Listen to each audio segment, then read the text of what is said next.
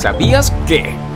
El infame reloj del juicio final, creado en 1945 por científicos, incluidos Albert Einstein y Oppenheimer, fue actualizado el día de ayer 23 de enero por científicos atómicos para reflejar el peligro inminente del planeta, ubicándolo a solo 90 segundos de la medianoche, debido a una serie de factores, incluidos la inteligencia artificial. El reloj se ajusta en función de los riesgos existenciales para el planeta, por lo este año ha sido considerado como un momento de peligro histórico.